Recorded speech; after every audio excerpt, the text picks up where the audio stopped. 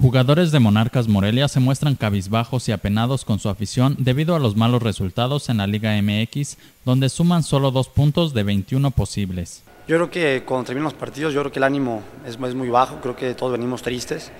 A nadie nos gusta estar así de situación, pero dentro del vestidor estamos unidos, creo que los únicos que podemos sacar esto adelante somos nosotros, nadie más. El conjunto de la fuerza ha intentado de todo para salir del bache, pero no lo han conseguido.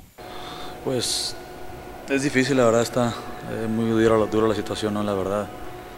Y, bueno, le buscamos, eh, sabemos que nos hemos equivocado y que eso nos tiene en esta situación, pero también el equipo ha hecho mucho para, para salir. Eh, le hemos buscado por todos lados y no hemos encontrado el camino. Por ser fecha FIFA la siguiente semana no habrá actividad en la liga y los equipos mexicanos tendrán dos semanas para prepararse, situación que aprovechará Morelia. Pero bueno, esto ya quedó atrás, queda la vuelta a la página y como te dije, estas dos semanas sirve para, para ver lo que dejamos la serie, salir adelante. Los dirigidos por Ángel David Comiso siguen sin ganar y se ubican en el último lugar de la tabla general de la Liga MX con solo dos puntos. Para Cuasar TV, José Guadalupe Rodríguez.